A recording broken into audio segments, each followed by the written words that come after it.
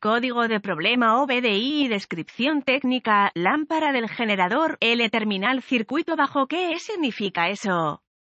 Este es un código genérico de diagnóstico de problemas DTC y se aplica a muchos vehículos OBDI 1996 más reciente. Esto puede incluir, entre otros, vehículos de Ford, Hyundai, Mercedes-Benz, Sprinter, Land Rover, Kia, etc. Aunque genéricos, los pasos exactos de reparación pueden variar según el año, la marca, el modelo y la configuración del tren motriz. Un código almacenado P2500 significa que el módulo de control del tren motriz PCM ha detectado una señal de voltaje inferior a la esperada desde el circuito de control de la lámpara del generador. La L simplemente reitera el circuito de control de la lámpara. La lámpara del generador está contenida en el panel de instrumentos. Su objetivo principal es advertir al conductor de posibles problemas del sistema de carga. Cuando está iluminado, el PCM generalmente monitorea la continuidad del circuito de control de la lámpara del generador cada vez que el motor está funcionando. El circuito de control de la lámpara del generador es integral para la operación del generador y para mantener los niveles de carga de la batería. Si se detecta un problema al monitorear el circuito de campo del generador, se almacenará un código P2500 y se puede iluminar una lámpara indicadora de mal funcionamiento. 1000 dependiendo de la gravedad percibida del mal funcionamiento, pueden ser necesarios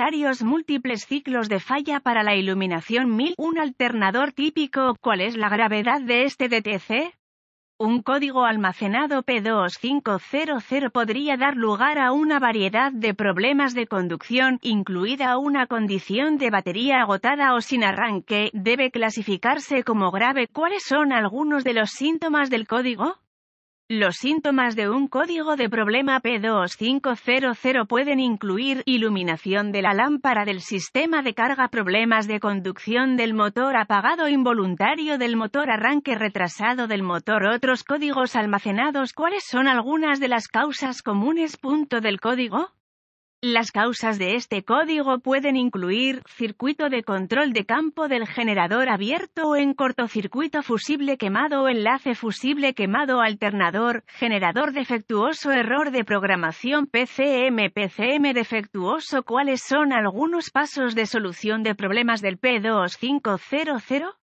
Se necesitará un escáner de diagnóstico, un probador de batería, alternador, un voltímetro, omímetro digital, DVOM y una fuente de información confiable del vehículo para diagnosticar un código P2500. Consulte la fuente de información de su vehículo para obtener los boletines de servicio técnico TSB que reproducen el código almacenado, el vehículo, año, marca, modelo y motor, y los síntomas exhibidos encuentra la TSB adecuada puede proporcionar un diagnóstico útil. Comience conectando el escáner al puerto de diagnóstico del vehículo y recuperando todos los códigos almacenados y los datos del cuadro congelado. Deberá escribir esta información en caso de que el código sea intermitente. Después de registrar toda la información pertinente, borre los códigos y pruebe el vehículo hasta que se restablezca el código o el PCM entre en modo de preparación. Si el PCM entra en modo de preparación, el código es intermitente y será más difícil de diagnosticar la condición que causó el almacenamiento del P2500. Puede incluso empeorar antes de que se pueda hacer un diagnóstico. Si se restablece el código, continúe con su diagnóstico, use el probador de batería alternador para probar la batería y asegurarse de que esté suficientemente cargada. Si no es así, cargue la batería como se recomienda y pruebe el alternador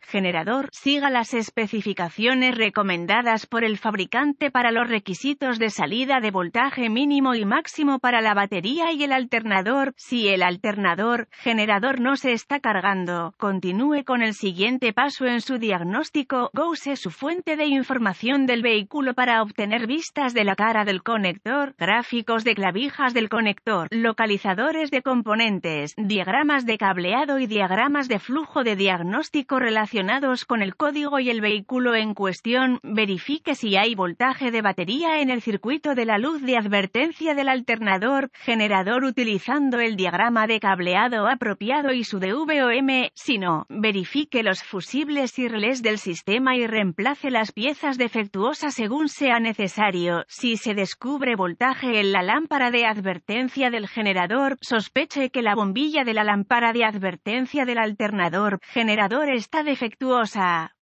Si el alternador se está cargando, la bombilla de la lámpara de advertencia del alternador generador funciona correctamente y el P2500 continúa reiniciando, use el DVOM para probar los fusibles y relés de la fuente de alimentación del controlador. Reemplace los fusibles quemados según sea necesario. Los fusibles deben probarse con el circuito cargado. Si todos los fusibles y relés parecen funcionar según lo previsto, se debe realizar una inspección visual del cableado y los arneses relacionados con el controlador. También querrá verificar el chasis y las uniones a tierra del motor. Use la fuente de información de su vehículo para obtener ubicaciones de tierra para circuitos relacionados. Use el DVOM para probar la integridad del terreno. Inspeccione visualmente los controladores del sistema en busca de signos de agua, calor o daños por colisión. Cualquier controlador que esté dañado, especialmente por agua, debe considerarse defectuoso, si la alimentación del controlador y los circuitos de tierra están intactos, sospeche que hay un controlador defectuoso o un error de programación del controlador. El reemplazo del controlador requerirá una reprogramación. En algunos casos, puede comprar controladores reprogramados a través de fuentes del mercado de accesorios. Otros vehículos controladores requerirán una reprogramación a bordo que solo puede hacerse a través de un concesionario u otra fuente calificada, si la lámpara de carga no se ilumina durante las condiciones de encendido del motor apagado, KOE sospeche que la bombilla de la lámpara de advertencia del generador está defectuosa, pruebe la integridad de la conexión a tierra del controlador conectando el cable de prueba negativo del DVOM a tierra y el cable de prueba positivo al voltaje de la batería.